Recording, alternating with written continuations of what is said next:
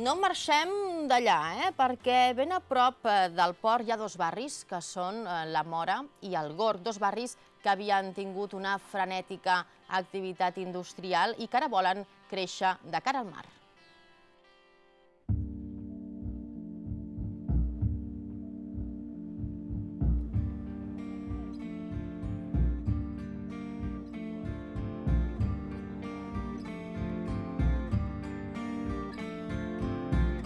Navegant solitari Soc mariner sense port Mai no he tingut calendari El meu rellotge sóc jo Un estiu al front marítim, a la Mora i al Gorg, és tenir la platja a pocs metres de casa i viure en un entorn tranquil, sense gaires destorbs. Lo bueno de vivir aquí es que es un entorno privilegiado. Tenemos el mar, tenemos no sé, una paz, una tranquilidad. Mira la hora que es, estamos aquí por la mañana y no oímos ni un ruido. Es una, es una maravilla. Molt poca vida. Tot just, potser a la tarda, si surten a passejar, però res, molt trist. És un carrer que ha quedat trist, trist de gent i trist de veïnat. Els barris del Gorg i la Mora tenen en comú el seu passat industrial. Fàbriques com la Cros o la Cassi donaven feina a moltes persones que decidien viure a prop de la indústria on treballaven. Vivien al Gorg, a blocs de pisos com aquest, un dels primers que es va construir al barri.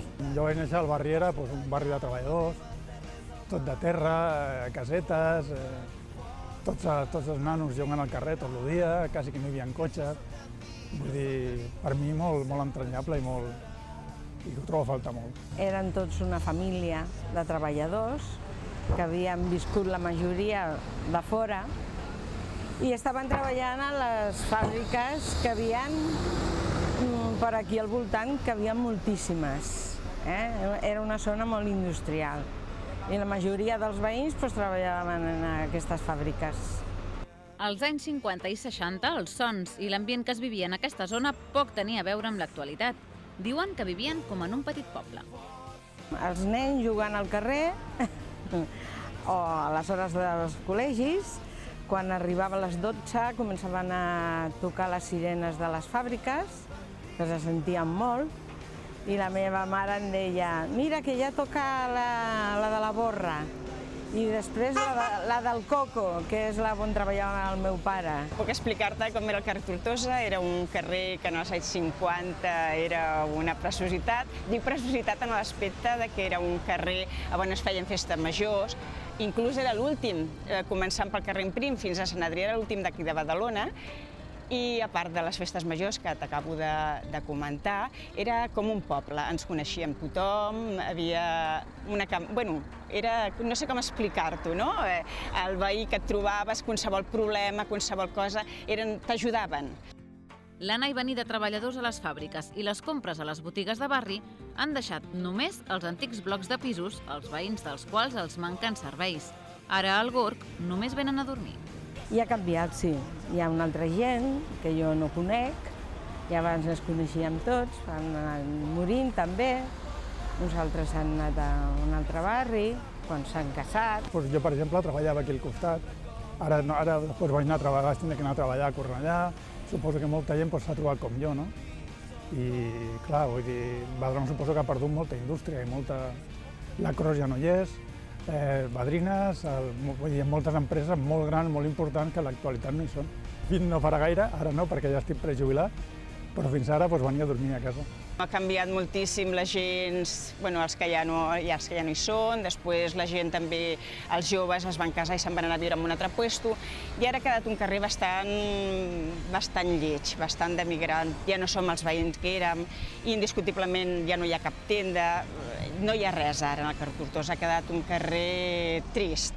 Vas rient i fa tan vent el teu vestit de flors tan bonic i vas cantant la platja et va mirant Dèiem que el Gorg i la Mora eren barris industrials.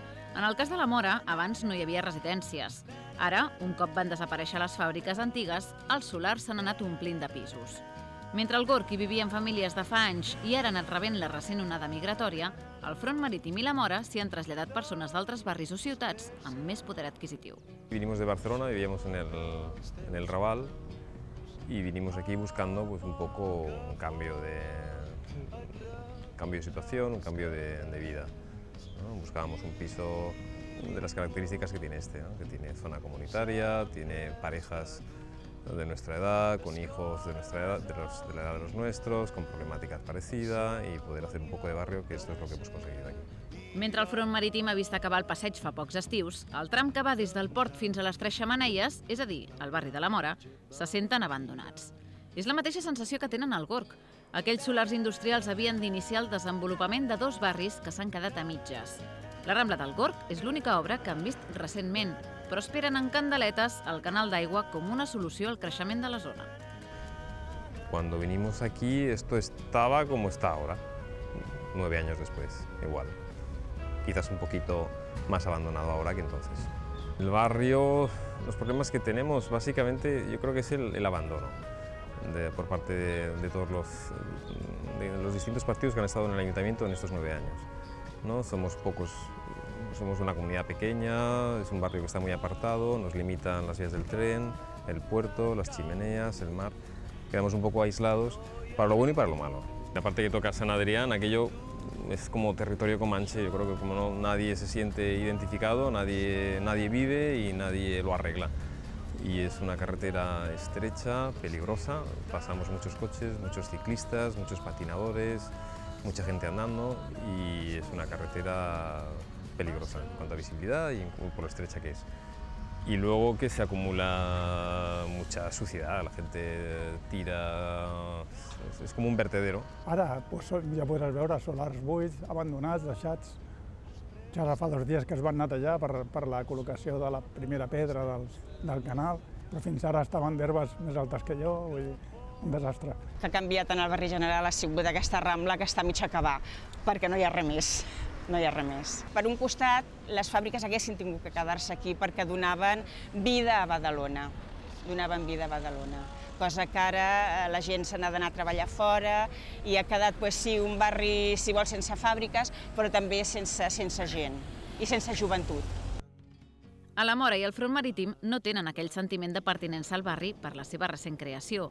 Al Gorg, en canvi, molts dels seus veïns no han volgut marxar mai. És més, els fills també s'hi queden a viure. Jo creia que era un barri molt normal i com que és el que he conegut sempre, per mi sí. Si acabessin de fer les coses que tenen que fer, pues, jo crec que sí. I, i tinc la confiança de que abans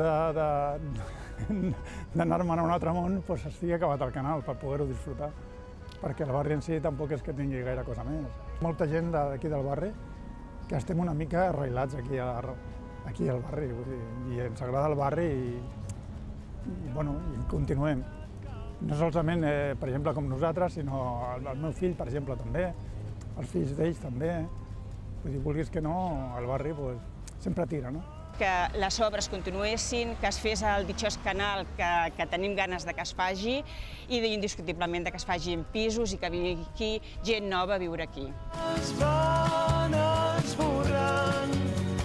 Esborrant passes que vas deixar